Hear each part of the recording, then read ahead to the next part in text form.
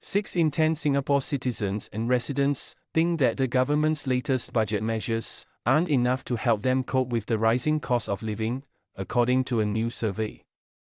Only 35% of respondents, polled by Milieu Insight, said they were reassured by the social aid unveiled in the budget for the new fiscal year starting April, while 44% reported feeling neutral.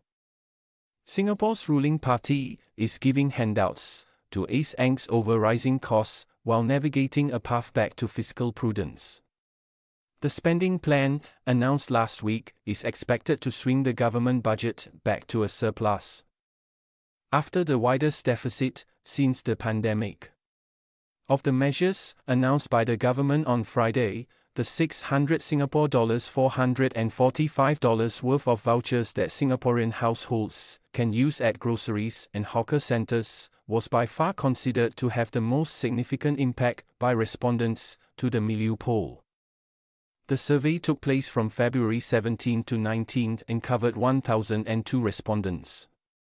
The budget was more conservative than expected, as the Finance Ministry looks to minimize the risks of overheating the economy. Said Kai Wei Ang, an economist at Bank of America. The budget address underlined elevated concerns about inflation and cost of living issues that are closely watched by the Monetary Authority of Singapore.